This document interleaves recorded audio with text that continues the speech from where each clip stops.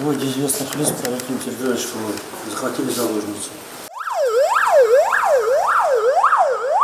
Ежеквартальные плановые учения, такие как эвакуация заложников из учреждений массового скопления людей, происходят для того, чтобы проверить готовность всех подразделений к непредвиденным чрезвычайным ситуациям.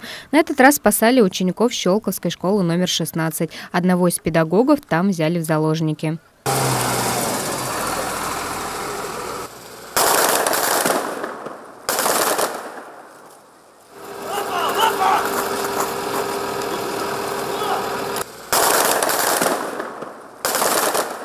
Руководство школы отрабатывало эвакуацию э, детишек, которые в момент э, происшествия находились э, в здании, в помещении школы.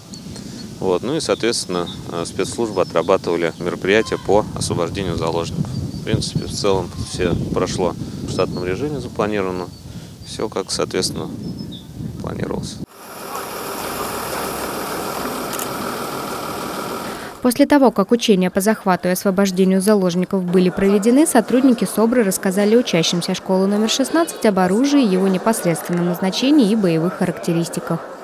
После того, как заложница была спасена, учащиеся школы номер 16 смогли поближе познакомиться с тем, каким боевым оружием их спасали. Понравилась часть, когда э, освобождали школу от террористов, и было интересно, что оружие можно трогать. Мария Буржинская, Валерий Жиглей, телерадиокомпания «Щелково».